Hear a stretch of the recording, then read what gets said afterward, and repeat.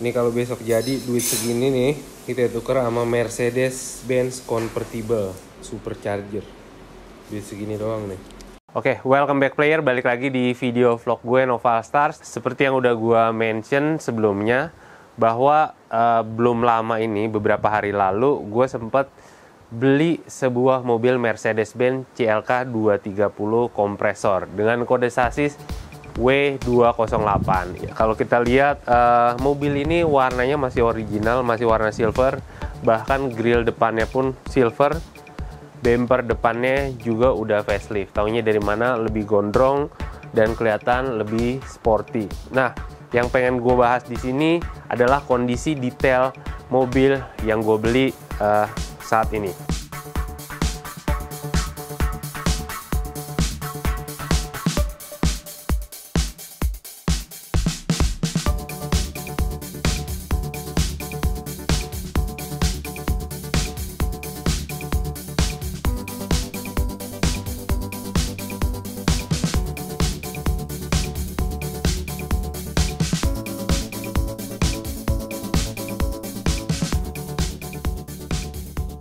Itu yang pertama, kalau kita lihat uh, bagian depan, itu kita bakal ngelihat bahwa lampunya kondisinya udah mulai butek.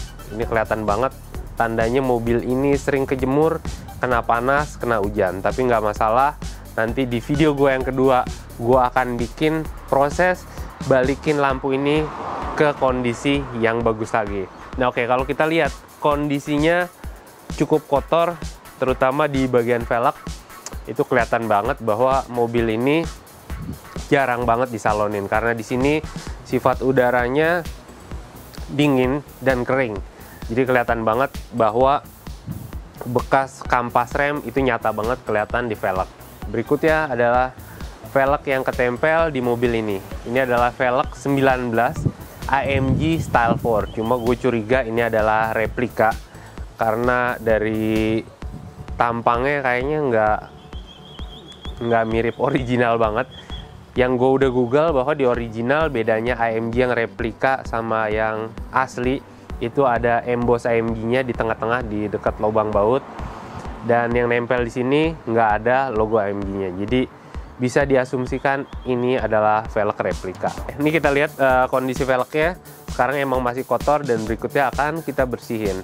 Berikutnya masuk ke interior. Interior mobil ini itu cukup masih bagus karena joknya belum ada yang sobek. Ada pun mulai grepes sedikit di bagian jok kanan supir. Interiornya warna hitam masih original. Kilometer mobil ini ini cukup serius juga karena kilometernya cukup banyak. Kilometer 280.000 kilometer. Ini cukup serius dan ini wajar kalau di Australia. Karena di Australia mayoritas mobil adalah kendaraan. Jadi dibedakan sama mobil adalah harta yang disimpan. Kalau di Indonesia kayak gitu, tapi kalau di sini mobil adalah benar-benar alat transportasi. Jadi kilometer 280.000 itu hal biasa untuk mobil yang sudah berusia 19 tahun. Jadi ini mobil adalah produksi tahun 2001.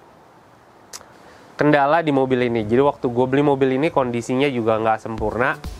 Uh, di bagian karet pilar B karena nggak ada pilar B jadi digantikan oleh karet kaca yang nempel di kaca quarter kiri belakang itu karet kacanya sudah mulai robek, udah mulai jelek dan gue akan segera menggantinya. Kemarin gue sempat ngecek di uh, forum Mercedes-Benz karet kacanya nggak begitu mahal, sekitar harganya sekitar 200 ribu dan mudah-mudahan gue bisa gantinya sendiri.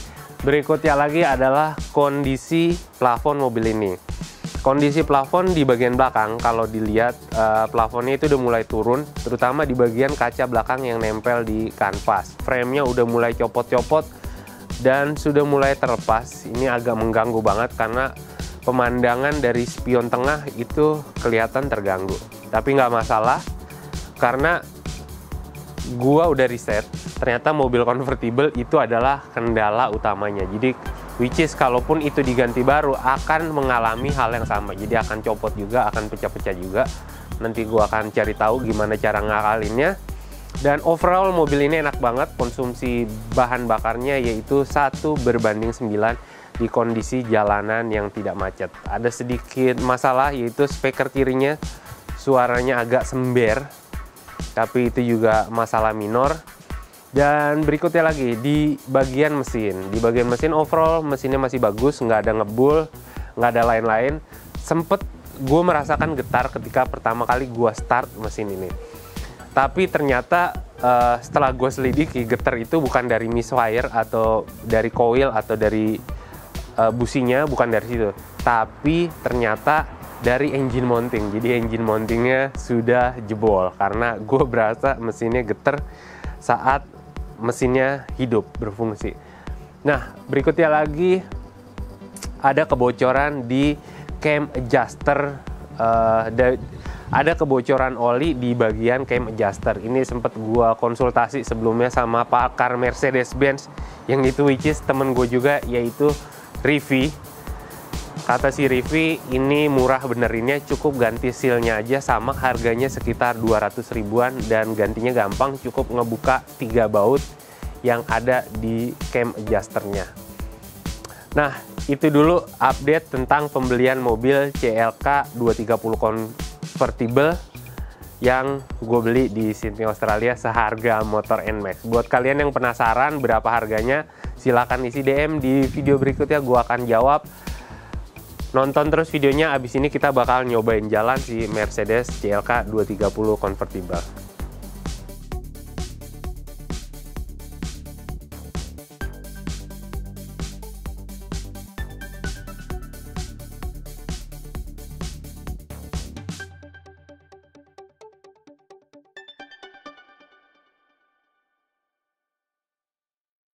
Yang pertama karena ini mobil convertible, yuk kita buka dulu atapnya. Cara ngebuka atapnya itu gampang, yaitu di sini ada klip, ditekan ke bawah, baru ini ditarik. Jadi masih semi uh, manual, ya diputer, didorong ke atas. Oke, nyampe sini, baru uh, tombol yang merah ini ditekan sampai bunyi. Ya, kita bawa tekan.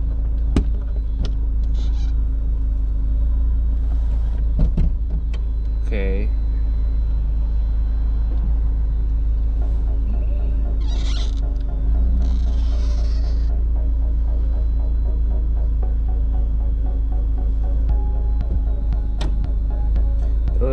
Tekan terus sampai bunyi tet tet oke okay. ya ya selanjutnya kita akan nyobain jalan menggunakan uh, atap terbuka yep.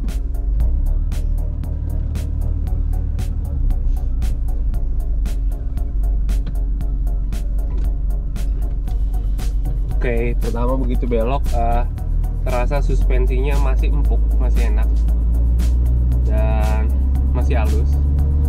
Walaupun gue ngerasa di bagian mesin tuh agak sedikit kasar ya, karena ini mesin 4 silinder, ini bukan bukan mesin 6 silinder jadi wajar bunyinya tidak sehalus 6 silinder. Wow mataharinya bright banget hari ini. Uh, eh, gue syuting ini masih jam sekitar jam 11 ya.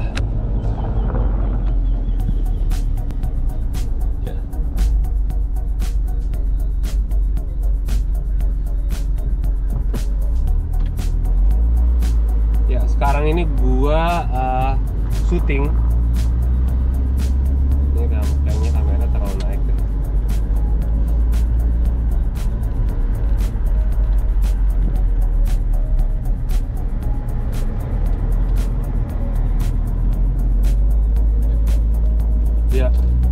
yang kalian tahu di sini tuh mataharinya bright banget uh, udara lagi agak dingin. Dan seperti yang kalian tahu gue syuting ini jam 10-an jadi antara jam 10 menuju jam 11 siang pagi. Dan udaranya cukup enak. Yuk kita lihat uh, oke okay, performa mobil ini. Jadi uh, jalanan agak sedikit bergelombang dan gue ngerasain bahwa mobil ini kayak punya empat kaki gitu yang main enak banget cukup empuk masih enak. Uh, ya ini di zona 60 masih enak banget. Walaupun gue ngerasain ada getar sih. Kayaknya velgnya peyang deh.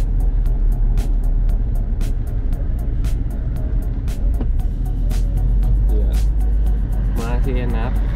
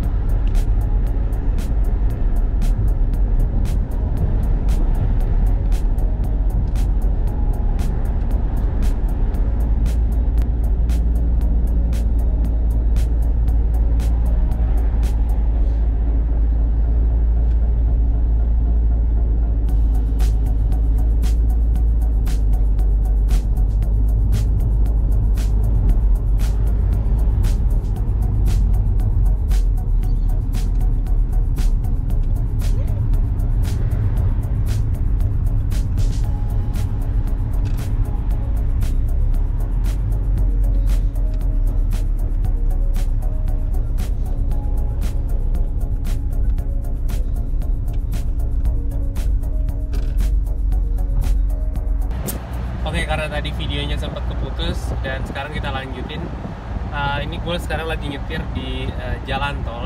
Kita lihat atap kondisinya kebuka. Uh, cuaca lagi agak dingin, lumayan enak, tapi emang setirnya tuh uh, nggak begitu lurus, nggak begitu lurus dan tadi sempat juga di videoin bahwa di ruang mesin ada sedikit getar shaky gitu mesinnya dan itu selanjutnya proyek kita untuk benerin ya namanya juga beli mobil murah pastinya nggak langsung perfect itu dulu video vlog dari gue di like di subscribe di share videonya. See you on the next video vlog